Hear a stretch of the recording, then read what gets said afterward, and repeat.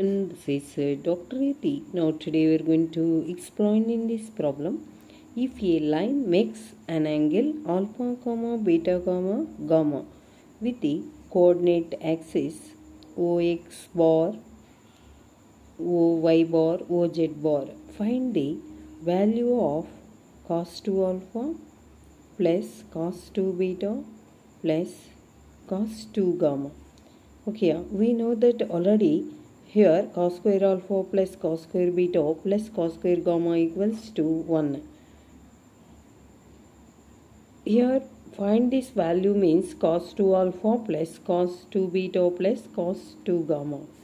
First of all, according to this trigonometric formula, cos 2 alpha means 2 cos square alpha minus 1. Cos 2 beta means 2 cos square beta minus 1 cos 2 gamma 2 cos square gamma minus 1 in these three terms 2 is the common factor.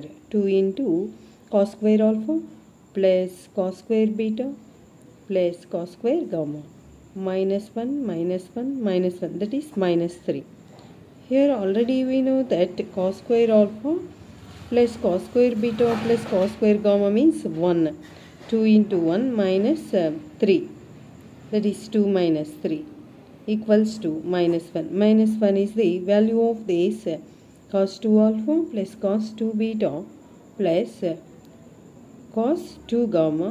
If the lines makes an angle alpha beta gamma with the coordinate axis ox bar, oy bar, oz bar. Okay, thank you.